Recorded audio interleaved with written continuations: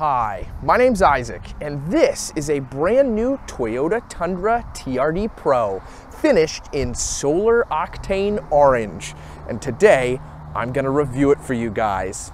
Man, does this color ever pop. You know, I think it's funny every time I see a Toyota commercial or another review of this TRD Pro online, it seems to always be finished in this color. That makes sense. It seems to be Toyota's hero color for this new generation of the Tundra. But when I actually see TRD Pros out on the road, well, that's a different story. Let's be honest. If you're gonna buy one of these, you're gonna get a gray one or white. But come on, that's so boring. I understand solar octane might be a turnoff for a lot of people, but personally, I love it. I am so thankful that Toyota offers this as an option on the Tundra because I think it makes it stand out on the road even more than the TRD Pro already does. Now, you might be sitting here watching it going, Isaac, I agree, the color's awesome. Well, like, oh, I just can't convince the missus to let me get one.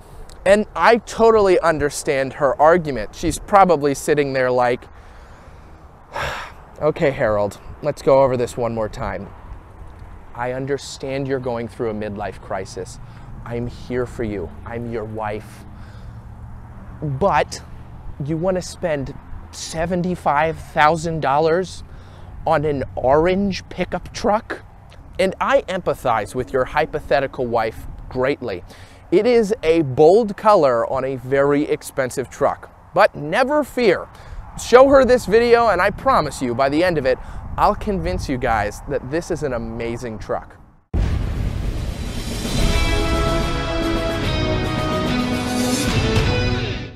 Before we begin, I'd like to thank Global Motor Trade for allowing me to borrow this vehicle to review. If you're looking for new or used vehicles, I'll leave a link to Global Motor Trade's website in the description below. Starting out up front on this new Tundra, when they unveiled this generation, it was very divisive. Some people loved it and some people hated it. Now, I was somewhere in the middle. I thought certain trims of the truck looked pretty good, and other ones, like this TRD Pro, oh, I felt like they had too much going on. But I've been doing this long enough to know that I have to see the truck or car, whatever it might be, in person before I make my final decision. Sometimes pictures just don't do vehicles justice. And eventually I was able to see more of these out on the road and I have the opportunity to review this one today and I'm happy to report that I do really like it. I think that it is a cool truck and it isn't as complex looking as I initially thought. I, I from the pictures, I was like, ooh, there's a lot going on there. Now, that being said, I like this truck. I think it's a good, attractive looking truck. There are two styling cues that I do not like. I think Toyota should have foregone these, and I will talk about those when we get to them on the truck. But first, we need to talk about the front end. So you'll have LED headlights with LED daytime running lights incorporated right here. Then you'll have LED fog lights down here parking sensors and Tundra stamped into the grille. Then you will have uh, your sensor for the radar guided cruise control and everything like that. There's also a front camera incorporated into the grille. Then at the top of the grille, you will have Predator lights. One cool detail about the marker lights is that they say TRD in them and a big Heritage Toyota logo, but we have reached the first styling cue that I think Toyota should have forgone, and I still don't like it, even though I've seen it in person. And that would be this. There we go. All right. The LED light bar incorporated into the grill. Personally, I think it looks really tacky. I am not a light bar guy. I know that they are incredibly useful off-roading and at night on really dark roads, you know, but ugh, I don't like it. I just don't think it should have been incorporated, uh, at least this visibly into the grill, and it looks like something you'd get online aftermarket. I can't believe you've done this. Personally, not my cup of tea. And that's okay. We can agree to disagree on these uh, styling cues, and we can still love the truck together. Moving underneath the hood in the TRD Pro, this is powered by Toyota's iForce Max Hybrid V6, which is the more powerful of the two available V6 options on this Tundra. This makes 437 horsepower, 583 pound feet of torque, and it is paired to a 10 speed automatic transmission. Moving to the profile of the TRD Pro, starting down here with the wheels and tires, you're going to get Falcon Wild Peak AT 285 65 tires around these forged TRD Pro 18 inch wheels. Now other models of the TRD Pro have just that red center cap, but what I love here is it also says Pro and it also says BBS forged etched into the wheel. I think that's a really neat detail. And then peeking in here, you can see the Fox shocks and some of the other off-road features, including this really nice TRD skid plate down here. And then if we move up here, you'll have the matte black fender flares that have this camo texture. Initially, I wasn't sure how I felt about that, but seeing them in person, I think they're pretty neat. And then moving up here, you'll have your TRD Pro badge on the side with this fake air vent that's on both sides of the hood, but it does add to the kind of aggressive stance of this truck. And then additionally, if we move here to the mirror, you'll have black plastic, and then there is a camera down here. There, they are power folding mirrors with turn signal indicators implemented into them. Then you'll also have blind spot monitoring, and of course they are power adjusting. Down here, you'll have black plastic uh, door handles, and then you'll have TRD running boards right here. See, it says TRD right there. And as we move down the profile, we'll move here to the back. Check out this dual TRD exhaust. That is so neat. Those tips are really cool. And then we fully move here to the back tailgate. Now there are three ways to open the tailgate. You have your traditional way, you know, you just hit the button right here and boom. And then also, if let's say you're holding something, you're carrying something, it's really tough, there's a button right here. You can bump that with your arm and then that will also drop the tailgate. Now, unfortunately, that button is only on the driver's side. It's not located here on the passenger side. That would be nice, though it is still cool that that's a feature. And then last but not least, um, it's becoming more traditional. You can also hold a button on the key fob to drop the tailgate as well. Let's do uh, a little backwards uh, truck stuff than what I normally do. Normally I talk about the tailgate and the exterior first, but let's talk about the inside since we're here. This has uh, a spray-on bed liner on top of the composite bed that this is built on. So the composite bed is a fiberglass material that basically uh, cuts rust out. So there is no possibility for rust here. Um, and then this composite material on top of it aids in helping it not chip or crack. Though I don't have composite on top of the bed of my truck. My Tacoma's right over here and my composite hasn't chipped at all. It's been really nice. Over here, you'll have a household power outlet, some LED lights, and some tie downs, which is really nice. And then this is a factory, um, or I should say dealer add-on um, tonneau cover, which is nice.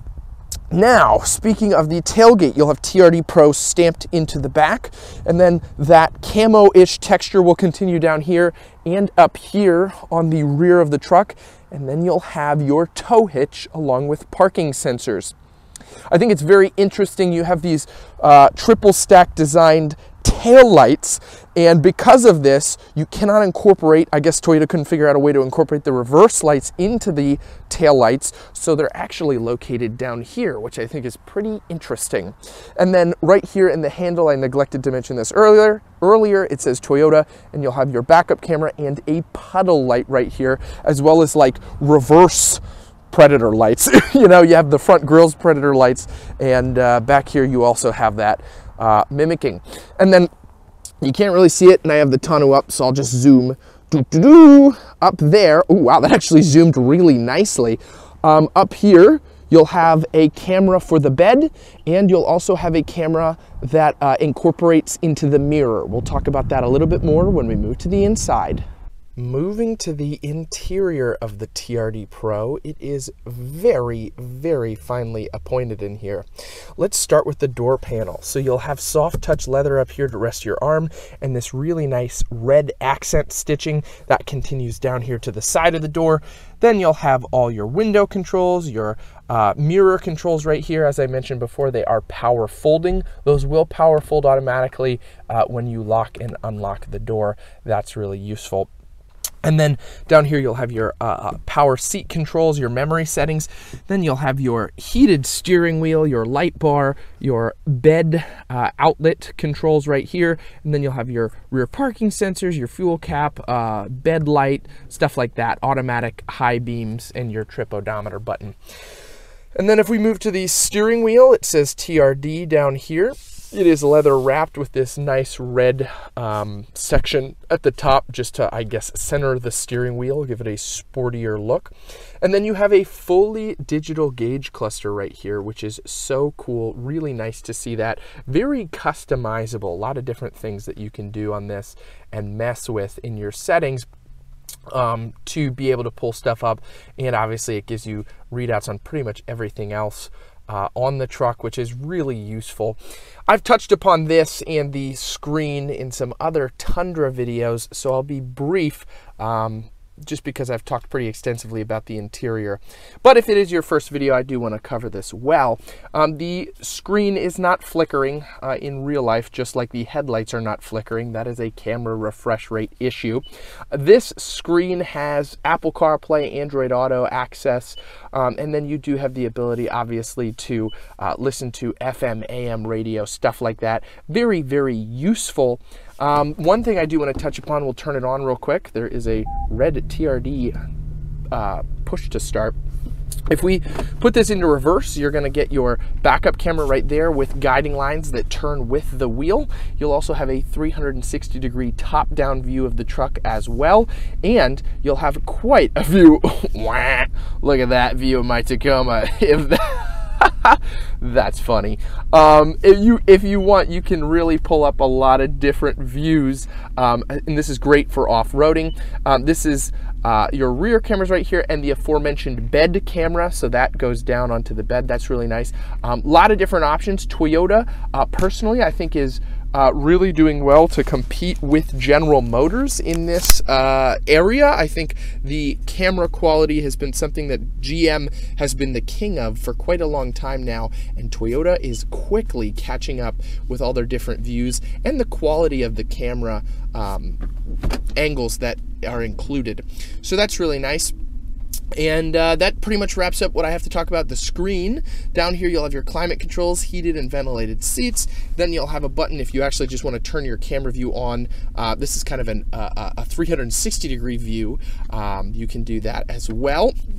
Then your hazards, your rear locker, useful for off-roading, and then you have your shifter down here, your TRD shifter, your electronic parking brake, and then uh, your four-wheel drive selector. This is nice. You can just push that down and kind of pull it to get whatever, uh, get into whatever uh, mode you want to be. That's the word I was looking for. Then you'll have your dry mode selector down here, tow haul, uh, your crawl control modes, which is really nice, and your multi-terrain select.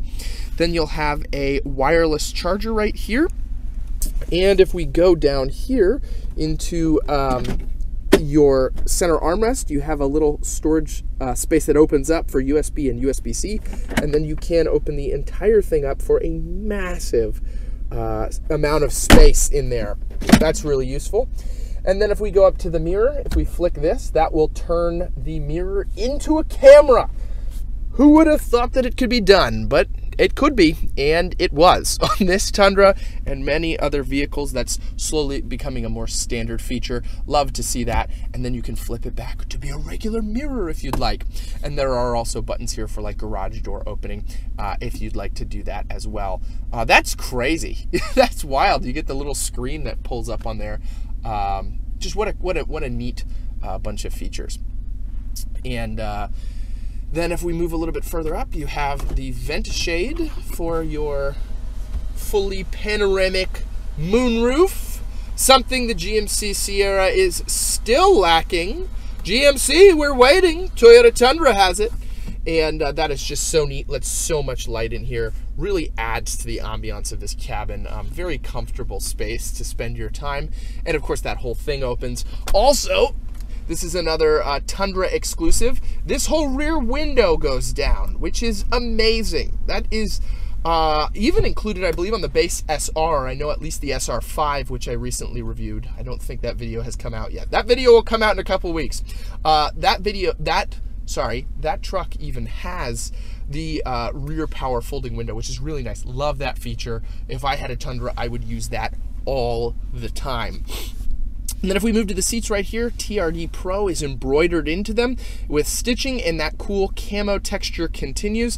And the floor mats are also TRD uh, Tundra Pro branded um, with a cool like tire tread pattern. Now, that brings us, let me zoom the camera back out here, to the second design detail that I really don't like where it says Toyota right there, I just think that looks tacky too. Uh, I think just like the light bar, it's cheesy.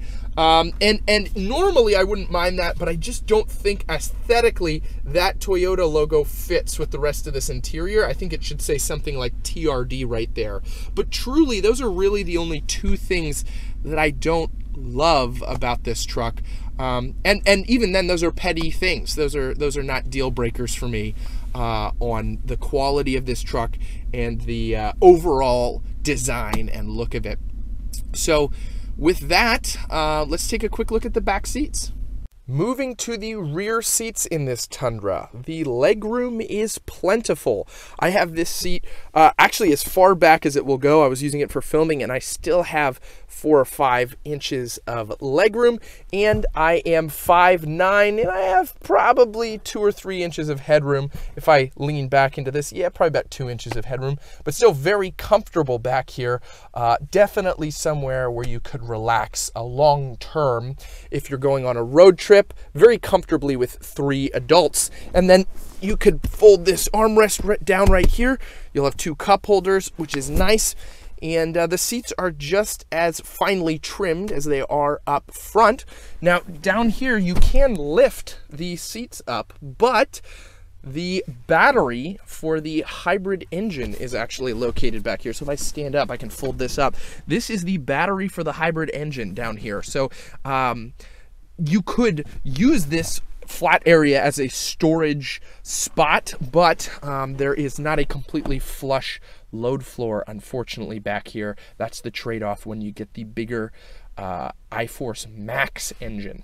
One more thing back here, you're going to get a household power outlet, two USBs, and climate vents back here, as well as cup holders and a little storage area. Unfortunately, no rear heated seats on the Tundra the Ram and the F-150 have this beat. I really would have wished that this did include that.